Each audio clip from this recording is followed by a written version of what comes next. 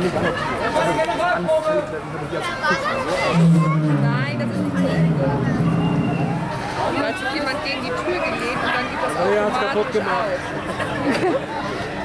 Ich mache das nochmal an und dann geht es. Da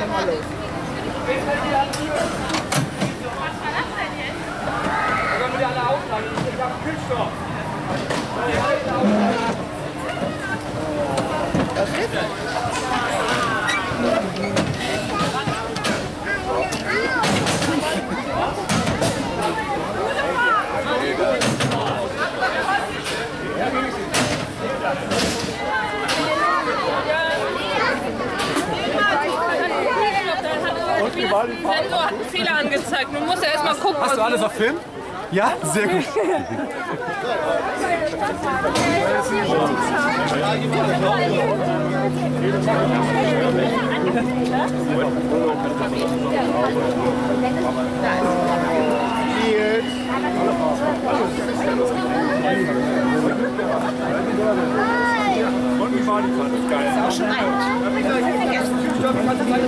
dauern. Vielleicht kannst du umpacken. Da müssen wir gleich noch eine Techniker kommen zum Freischalten. Wenn ihr fragt.